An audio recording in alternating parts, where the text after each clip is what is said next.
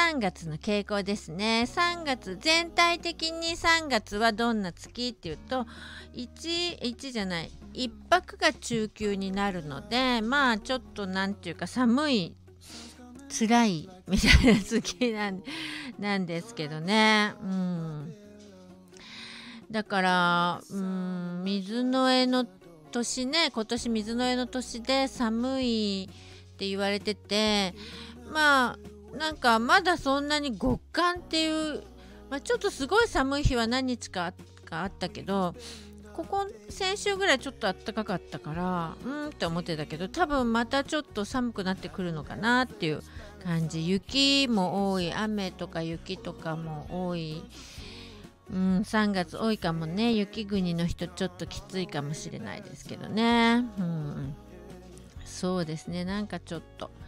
そんな感じはします。はい。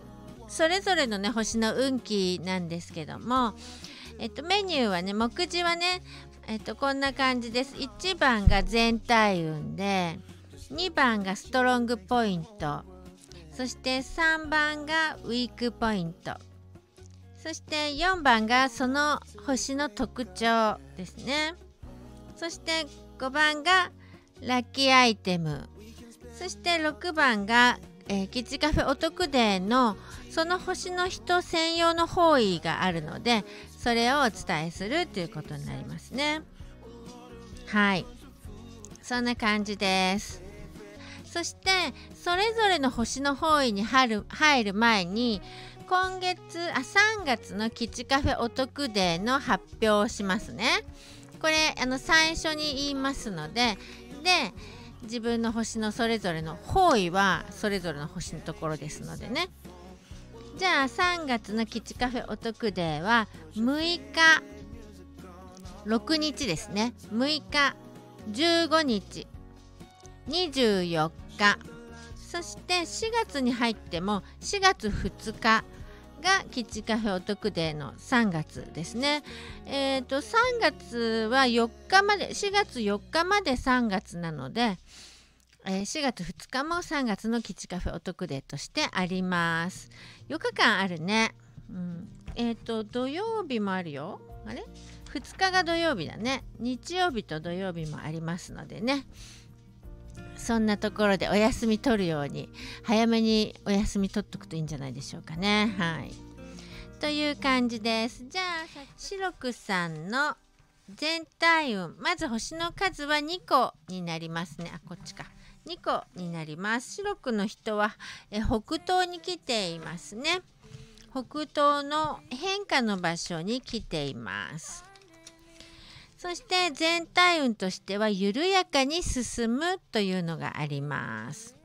物事を急がないで、えーと、せかせかないで、えー、ゆっくり進んでください、えー、決断も即断即決しないでちょっと一晩持ち帰って考えたりとかゆっくり決断するっていうのがいいです。なんていうかこうまあ四緑さんって、えー、スイスイスイスイ動くのとのんびりのんびりしてるのと2つ持ってるんですけどもまあスイスイスイスイ動くのはちょっと置いといてのんびりした方がいいよゆっくりゆったり緩やかにっていう感じがいいです。ただ動いては動いてはいるんですね。あの植物を育てるみたいな感じ。植物ってこう急には育たないじゃないですか。水やったりとかね肥料やったりとかしてあの何ヶ月とか半年とか何ヶ月とかかけて花咲いていくわけなんでそんな感じの進み進んではいるけど緩やか。そんな感じに行くといいですよっていう感じですね。だからのんびりモードがおすすめな感じになります。そして2番のストロングポイントは今、えー、3月は夢や目標が見つかりそうです。うーんなんかこう自分の目標がいまいちわからなかった人とかそういう人がこう見つかりそうな予感ですね。うん多分なんかこうちょっとした棚卸しじゃないけど自分の人生自分の何か、ま、身の回りのことを振り返ってみてやりたいこととか目標とか夢が見つかってくるそんな感じの変化が起きてくるっていう感じですね。過ごし方としてはやっぱりゆったりした気持ちで焦らず進めていくのがいいです。そして一つ一つ積み上げるっていうこともできそうですので夢が夢や目標が決まったら一つ一つ積み上げていくっていう第一歩を踏むっていうそんなストロングポイントになりますね。なんかのんびりしてて良さそうな一月ですよね。でも、えー、ウィークポイントはですね変化がやってくるんですがその変化が自分が望まない形の変化になりそうです。まあ、やりたくないっていう感じなんですね。なんか来たけど変化が来たけどそれやりたくないんですけどっていう感じで動きも止まっちゃう感があります。でも、えー、それはまあ今ウィークポイントで言ってますけどもほとんどラッキーに転換するための、うんと、変化と止まりなのであの何、て言うのかな受け入れてほしいっていうのかなそのその自分のその嫌だなって思ってる変化を嫌わないでほしいっていうのがありますね。はい。そしそんな感じのウィークポイントです。そして4番特徴、えー、白く木星の今月の特徴は遠方というのを取り上げてみました。遠くですね。えー、白くさんは風なのでもともとの勝位が。風は遠くを移動しますのでね。たくさんあの遠くまで飛んでいきますので遠くって意味があります結構白くの人は旅行好きしかも遠くで海外旅行が好きな人が多いですねまあ今ちょっとコロナで行けないですけど多分海外旅行楽しみだったのに行けなくなっちゃってっていうのは結構白くさんに多いんじゃないかなって思いますね。それから遠くの人と、えー、遠くの人とか遠くの人とのご縁とかをつなぐっていうことができるんですね。なんかこう全然遠い存在をつな何て言うか整えるっていうことですね。真ん中取って整えていくっていうのができるのが白くさんになります。だからご縁を整えるとかね結婚っていう意味があるんですね。両家を整えるとかねそういう感じになります。そして遠くにお嫁入りするのもおすすめだし男性であってもまあ何でしょうね。奥さんの実家の遠くとかに来ちゃうのもすごくおすすめになります。それから、えーと、メールとかお手紙、えー、遠くまでこう飛んでいくっていうかお届けするっていうことでメールとか、えー、電子メールもいいんですけどお手紙すごくいいですね白くさん。お手紙ラッキーアイテムになりますので遠くあのそういうのおすすめになりますね。手紙書くのって結構うんともう今やらないけどでもなんかやっぱりいいですよね。あのそういうゆっくりなんていうか手紙を書く時間を取るそういうのがあるっていうのもいいしもらった方もなんかこう、えー、空気感があっていいですよね。文字の感じとかね。あのおすすめになります。白くさん特にお手紙おすすめになります。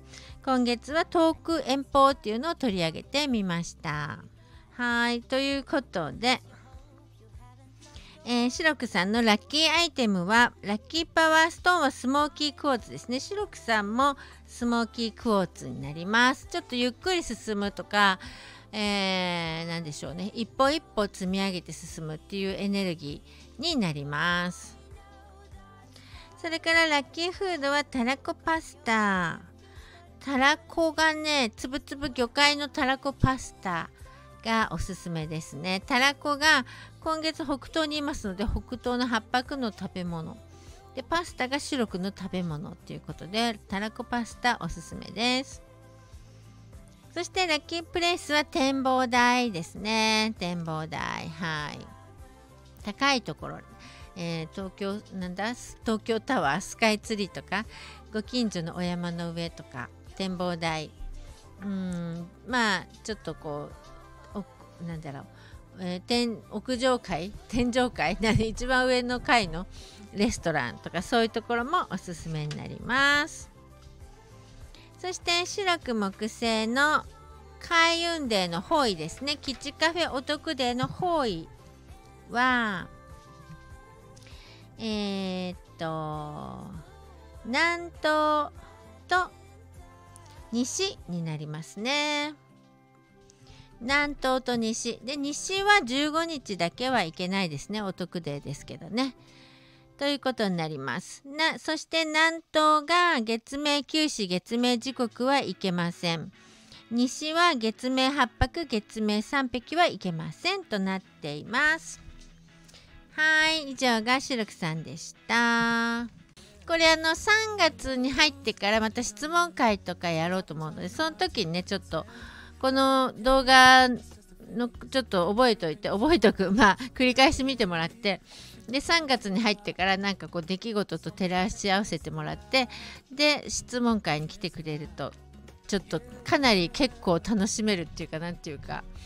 なんていうかな運気の流れに乗るっていう感覚が分かってくるような感じになりますのでね楽しみにしててください。それでえっとキッチカフェお得デーなんですけども、えー、非番切符通称キッチカフェっていう開運方法、その開運方法をキッチカフェお得デーにするとより効果が高いよっていうお話なんですけど私は基本毎日キッチカフェしてるんですよね。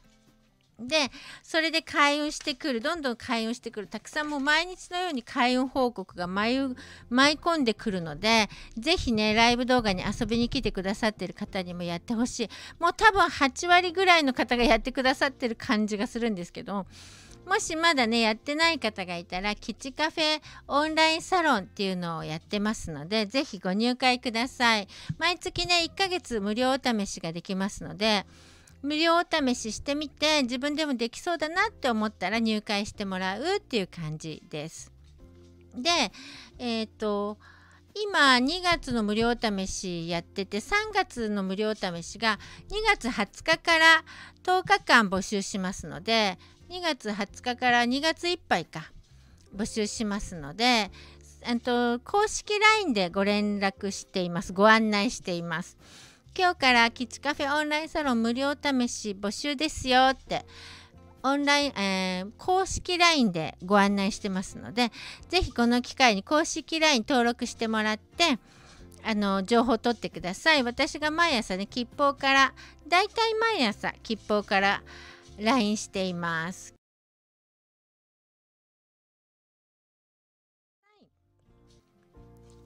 はい。はい。3枚のカードを出しました。ピンとくるものを選んでください。これが3月の運勢ということでね、3月のメッセージですね。1番、2番、3番です。心の中で選んでくださいね。選びましたか？はい。では1番はうーん水水雷チュンこれは停滞と始まりになります。停滞と始まり水雷チュン選んだ人。3月停滞して始まるよって感じです。続いて2番を選んだ人。天来無謀。天来無謀天来無謀ですね。これはもう心が綺麗な人は何でもうまくいくっていう感じです。心が綺麗じゃない人はちょっと分かりません。心が綺麗な人うまくいきます。また無邪気に無邪気に心綺麗に過ごしてねっていう風でもいいか。心綺麗に過ごして無邪気に過ごしてねっていう3月になります。じゃあ最後3番選んだ人。3番選んだ人は簡易水簡易水。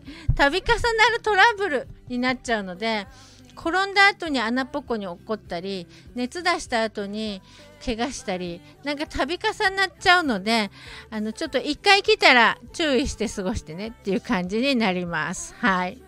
1番2番3番。ちょっと3番の人度重なるあのトラブル注意になっちゃうけど。はい。でもまあだからといって別に絶対そうなるってわけではないですのでねちょっとなんかこうもしかして体調とかなんか注意してほしいっていうメッセージかもしれませんので心がけてください。えっ、ー、と3月ねまだこれからなんですけども3月が始まってライブ動画でねまた質問会をやりたいと思いますね。ちょっと考えたんですけど3月始まって12週間してから質問会やった方が面白いかなと思うので第2週第2週に質問会にしようかなって思います。まあもちろん公式 LINE からお知らせしますけどもね。はいなのでちょっとそんな感じで第2週の前に3月の動画をチェックしてまた参加してもらうって感じでね。いきたいと思います。